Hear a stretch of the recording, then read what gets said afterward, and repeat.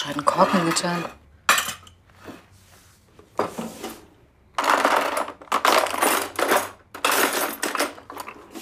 Hab ich den jetzt weggeschmissen?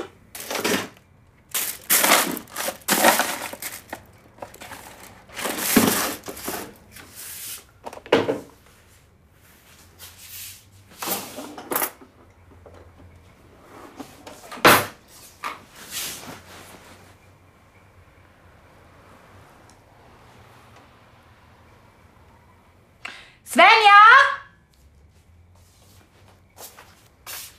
Svenja, kommst du mal eben?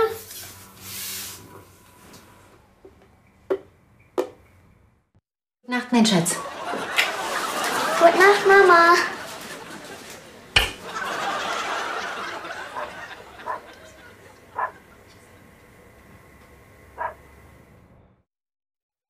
Ich habe in der Schule angerufen und Bescheid gesagt, dass du heute nicht kommst. Ich muss jetzt los zur Arbeit. Bis heute Abend.